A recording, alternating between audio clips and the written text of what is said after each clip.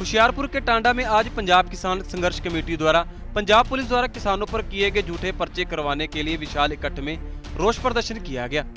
यहाँ किसानों ने पंजाब सरकार और पुलिस के खिलाफ जमकर नारेबाजी की और प्रशासन से किसानों पर किए गए झूठे पर्चों को रद्द करने की मांग की। किसानों का कहना है कि यदि उनकी मांगों पर पुलिस प्रशासन ने गौर नहीं किया तो वो अपने संघर्ष को तेज कर देंगे। वही इस मौके प्रदेश अध्यक्ष किसान संघर्ष कमेटी सुरेंद्र सिंह चौटाला ने बताया कि सियासी दबाव में पुलिस ने किसानों पर झूठे पर्चे दर्ज किए हैं। इसीलिए आज उनको मजबूर होकर धरना देना पड़ रहा है। वही जब उनसे पूछा गया कि प्रदेश में कोरोना वायरस को देखते हुए सरकार ने इकट्ठा करने पर प्रतिबंध लगा रखा है तो उन्होंने कहा कि कोरोना वायरस पंजाब में नहीं है। चीन और अमेरिका लोगों में डर पैदा कर रहे हैं। यदि कोई बात होती है तो उसकी जिम्मेवार पुलिस प्रशासन है। ਲਾਵਾਂ ਸਾਡੀਆਂ ਕੁਝ ਮੰਗਾਂ ਨੂੰ ਲੈ ਕੇ ਜਿਹੜੀ ਥਾਣੇ ਨਾਲ ਸੰਬੰਧਿਤ ਆ, ਪੁਲਿਸ ਪ੍ਰਸ਼ਾਸਨ ਨਾਲ ਸੰਬੰਧਿਤ ਆ, ਉਹਨਾਂ ਨੂੰ ਲੈ ਕੇ ਸਾਡਾ ਇਹ ਧਰਨਾ ਲੱਗਾ। ਤੇ ਇਹ ਧਰਨਾ ਲਾਉਣਾ ਕੋਈ ਸਾਡਾ ਅਣਖ ਦਾ ਸਵਾਲ ਨਹੀਂ, ਨਾ ਕੋਈ ਸਾਡਾ ਸ਼ੌਂਕ ਹੀ ਆ।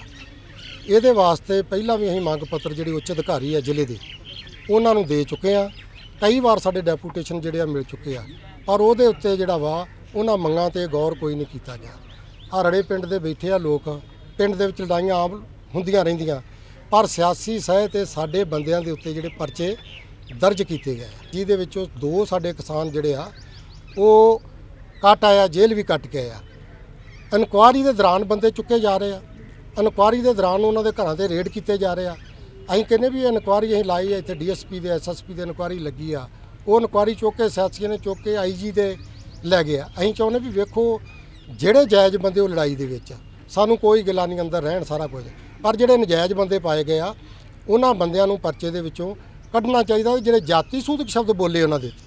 ਉਹਨਾਂ ਨੂੰ ਐਸੀ ਸ਼ਬਦ ਬੋਲੇ ਜਿਹੜੇ ਜਾਤੀ ਸੂਦਕ ਸ਼ਬਦ ਬੋਲੇ ਗਏ ਆ। ਉਹਨਾਂ ਦਾ ਜਿਹੜਾ ਪਰਚਾ ਪੁਲਿਸ ਹੈ ਜਿਹੜੀ, ਉਹ ਬਾਹੂਬਲੀਆਂ ਦੇ ਸਿਰ ਤੇ ਉਹ ਪਰਚਾ ਜਿਹੜਾ ਪੁਲਿਸ ਨਹੀਂ ਕਰ ਰਹੀ।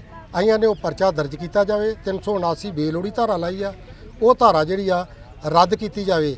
ਤੇ ਜਿਹੜੀਆਂ ਇਹਨਾਂ ਦੇ ਸੱਟਾਂ ਲੱਗੀਆਂ ਉਹਨਾਂ ਦੀ ਐਮਆਰਐਲ ਕੋਲ ਆ ਉਹ ਪਰਚਾ ਜਿਹੜਾ ਦਰਜ ਕੀਤਾ ਜਾਵੇ ਉਦੋਂ ਦੇ ਵਿੱਚ ਜਿਹੜਾ ਕਰੋਨਾ ਵਾਇਰਸ ਨੂੰ ਦੇਖਦੇ ਹੋਏ ਇੱਕ ਧਾਰਾ 144 ਲਗਾਈ 50 ਬੰਦਿਆਂ ਤੋਂ ਉੱਪਰ ਨਹੀਂ ਇਕੱਠੇ ਹੋ ਸਕਦੇ ਫਿਰ ਵੀ ਤੁਸੀਂ ਉਸ ਉਸ- ਉਸ ਅਸੀਂ ਅਸੀਂ ਅਸੀਂ ਜੀ ਸਾਨੂੰ ਖੇਦ ਹੈ ਇਹਦਾ ਕਿਉਂਕਿ ਮਜਬੂਰੀ ਵਾਸ ਹੈ ਜਿਹੜਾ ਸਾਨੂੰ ਇਹ ਸਾਰਾ ਕੁਝ ਕਰਨਾ ਪਿਆ। ਉਸ ਤਰ੍ਹਾਂ ਪੱਧਰ ਧਾਰਮਿਕ ਸਮਾਗਮ ਜਿੱਥੇ ਰੱਦ ਕਰ ਦਿੱਤੇ ਆ ਸਾਰੇ ਸਮਾਗਮ ਕਿਸੇ ਵੀ ਕਿ ਕਰਤੇ ਵਿਅਕਤੀ ਨੂੰ ਕਰੋਨਾ ਵਾਇਰਸ ਹੋ ਸਕਦਾ ਤੁਹਾਡੀ ਇਸ ਇਸ ਨਾਲ ਲੈ ਕੇ ਚਲੋ ਪੰਜਾਬ ਦੇ ਵਿੱਚ ਇੱਥੇ ਕੋਈ ਇਹੋ ਜਿਹਾ ਨਹੀਂ ਹੈਗਾ ਕਿਉਂਕਿ ਕਰੋਨਾ ਕਿਸ ਤਰ੍ਹਾਂ ਵਾਇਰਸ ਸਕਦੇ ਹੋ ਕਿ ਕੋਨ- ਪੰਜਾਬ ਕਰੋਨਾ ਦੇ- ਵਾਇਰਸ ਦਾ ਜਿੰਨੀ ਹਵਾ ਉਹ ਜਿਹੜੇ ਕੈਪੀਟਲਿਸਟ ਦੇਸ਼ ਆ ਜਿੰਨੀ ਫੈਲਾ ਰਹੇ ਆ, ਉਹਨਾਂ ਦਾ ਆਪਣਾ ਕੋਈ ਮਕਸਦ ਹੋ ਸਕਦਾ।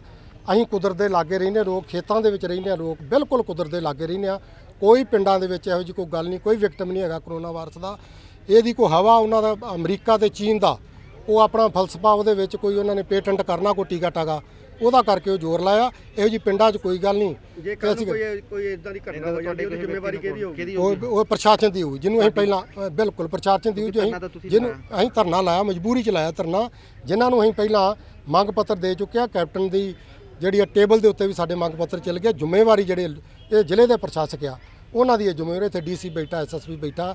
ਸਾਨੂੰ ਜਿਹੜਾ ਧਰਨਾ ਮਜਬੂਰੀ ਚ ਲਾਉਣਾ ਪਿਆ ਉਹ ਜ਼ਿੰਮੇਵਾਰ ਆ ਸਾਡੇ ਧਰਨੇ ਤੇ ਕੋ ਆ ਰਹੇ ਜਿੰਨਾ ਚਿਰ ਸਾਡੀਆਂ ਮੰਗਾਂ ਦਾ ਹੱਲ ਨਹੀਂ ਹੁੰਦਾ ਇਹ ਧਰਨਾ ਜਾਰੀ ਰਹੂ थाना प्रभारी टांडा गुरुदेव सिंह के मुताबिक वो अपने उच्च अधिकारियों से बात कर रहे हैं और सभी किसानों को कोरोना वायरस को लेकर धरना देने से मना किया गया था वही उच्च अधिकारियों से बात कर सभी किसानों पर बनती कार्रवाई की जाएगी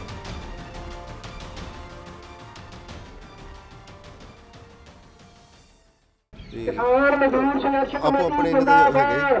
ਚਲੋ ਕਰਕੇ ਤਾਂ ਪੁੱਛ ਲੈਂਦੇ ਦੁਬਾਰਾ ਕੀਤੀ ਗੱਲ। ਕਿਸਾਨਾਂ ਮਜ਼ਦੂਰਾਂ ਦੇ ਕਿਸੇ ਪੱਤੇ ਗੱਜ ਕਰ ਅਲਰਟ ਤਾਂ ਕੀਤਾ ਇਹਨਾਂ ਅਲਰਟ ਤਾਂ ਕੀਤਾ ਇਹਨਾਂ ਸਾਰਿਆਂ ਨੂੰ।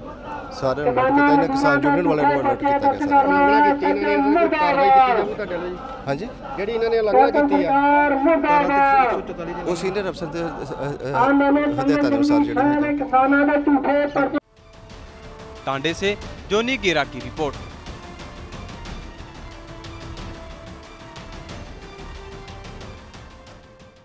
इस चैनल पर चल रहे मुद्दों पर अपने विचार देने के लिए कमेंट करें और अपडेट रहने के लिए चैनल को लाइक एंड सब्सक्राइब करें और हाँ बेल आइकन दबाना ना भूलें